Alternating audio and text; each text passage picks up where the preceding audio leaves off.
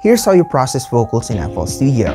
Cleaning up after a recording is essential. You need to scrape the artifacts that shouldn't be there in the first place, like static noise, plosives, crackles, and clicks.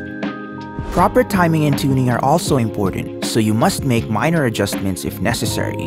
If needed, you can also tweak the vibrato, volume, and pitch ramp. This is the stage where you cut out or reduce the frequencies that cause muddiness and distortion to your vocal. This stage aims to even out the quieter and louder parts to make the vocal sound as consistent as possible. This stage aims to intensify the frequencies that help the vocal shine brighter along with the other instruments. It is common for the sibilants to sound more aggressive after the additive EQ which is unpleasant to the ear, therefore reducing them is a must. Now the last stage is to put some reverb to add depth and help your vocal blend into the mix. It is better to do it with a return channel to have more control over its outcome.